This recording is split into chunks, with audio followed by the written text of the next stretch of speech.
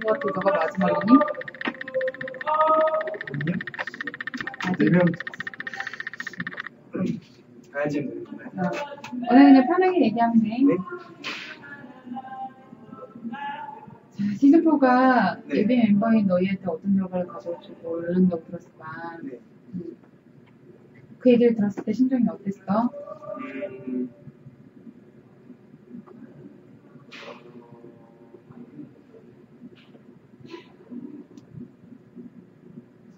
어떤 결과가 올지 모르니까 이걸 일단 우선은 결과보다 결과보다는 과정이 더 중요하다고 생각합니다.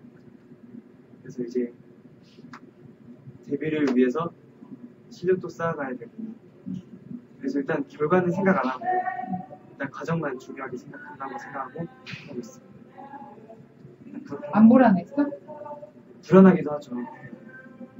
불안한데 뭐가 제일 불안해? 아무래도 어, 떻게 어떤 방식으로 진행될지가 모르니까 제일 불안한 것 같아요. 그냥 아무것도 결과가 없는데 어떻게 될지 모르니까. 아무것도 없는 섬에 혼자 떠 있는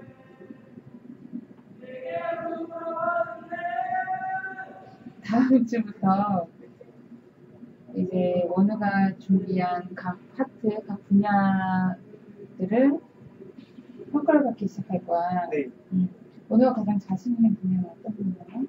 어, 일단 제가 작사 쪽으로 칭찬을 좀 많이 받다 보니까 랩 작사? 네, 어. 그래서 작사를 이용한 랩을 보여드리면 어떨까라고 생각하고 있습니다. 이게 가장 자신 있어? 네, 그쪽이 아마 그래도 제가 보여드리는 것 중에 제일 괜찮지 않을까. 어떻게 하다 보니까 시즌 4 때는 모든 멤버들이 경쟁 구도에 서게 됐어.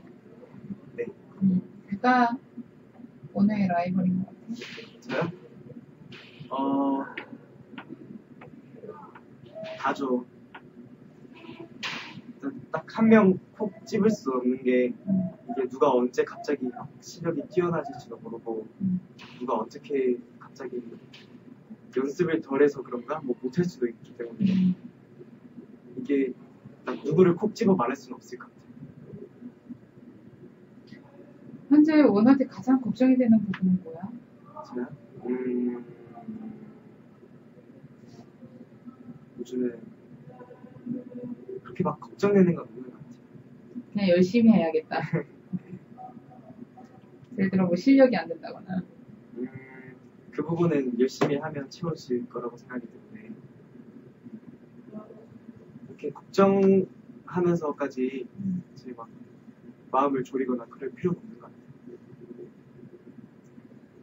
자, 처음 방송 시작했을 때도 했지만 시즌4에 대한 각오, 드디어 시작한 시즌4에 대한 각오. 아, 시즌 4 때는 조금 더 시즌 1, 2, 3보다는 좀 더 나은 모습을 보여드리려고 최대한 노력하겠습니다. 더욱더 멋진 모습으로. 음. 자, 네.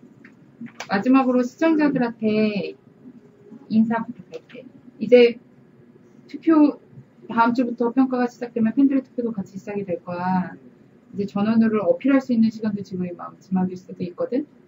음. 그러니까 시청자들에게 원우도 어필해주고 그리고 마지막 인사 부탁할게. 네, 안녕하세요. 원우입니다. 네, 저희가 11월 23일에 라이크 세븐틴 공연이 한 번 더 있어요.